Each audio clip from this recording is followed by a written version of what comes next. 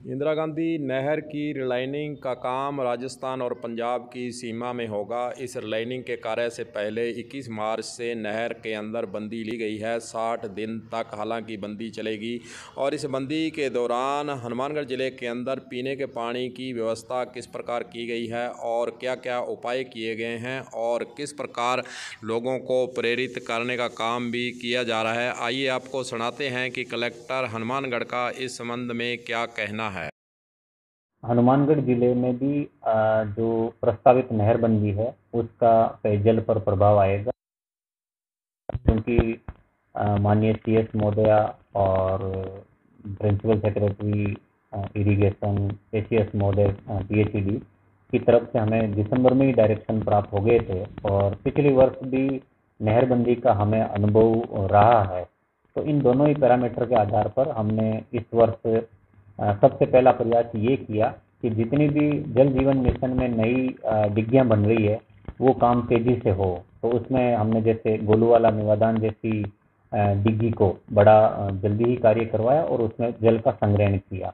ये कार्य जल्दी से हो। इनके साथ साथ जितना स्टोरेज हमारे पास उपलब्ध है, उनको हम अधिकतम कैपेसिटी तक भर लें। ये पीएचडी ने इस बार इंश्योर कर लिया।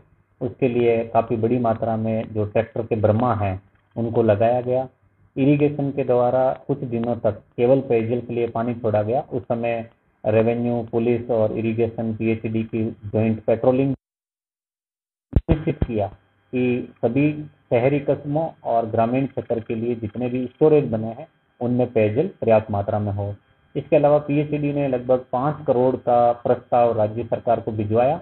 जिसमें डीजल इंजन किराए पे लेना, ट्रैक्टर बर्मा लगाना नलकूप खोदना नलकूप किराए पे लेना, ऐसे छोटे छोटे लगभग चौंतीस प्रकार के काम हैं और गवर्नमेंट ने वो पाँच करोड़ भी सेंक्शन कर दिए हैं।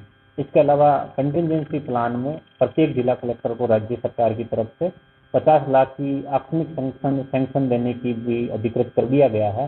तो वो भी हमारे पास में अभी रिज़र्व है। प्रत्येक S D M B D O तहसीलदार को हमने, जो हमारे हेडवर्क हैं, उनका निरीक्षण करवाया और सेंसिटिव जितने भी हेडवर्क हैं, उनमें ग्राम विकास अधिकारी पटवारी और नायब तहसीलदार की हम ड्यूटी लगा रहे हैं, ताकि वो हेडवर्क से सीधा कोई टैंकर ना भरें और पेयजल सप्लाई के लिए पाबंद रहें। कर ली गई है। कुल मिलाकर के सभी विभागों के अंतर विभागीय समन्वय से इरिगेशन ने टाइमली पानी छोड़ा और पीएचडी को बताया गया। पीएचडी की तरफ़ से पॉन्डिंग की गई, वाटर स्टोरेज को भरा गया। कुछ किसानों ने मोगे खोलने की कोशिश की गई तो उनके विरुद्ध एफआईआर दर्ज करवाई, उनकी बारी काटी गई और उनको पाबंद भी किया गया।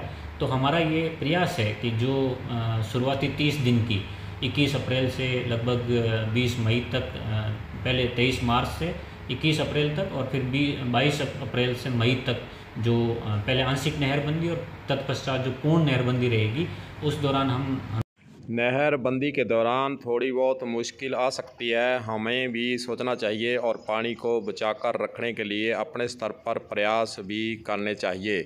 कलम न्यूज़ के लिए गुरुदेव सिंह सैनी की खास रिपोर्ट।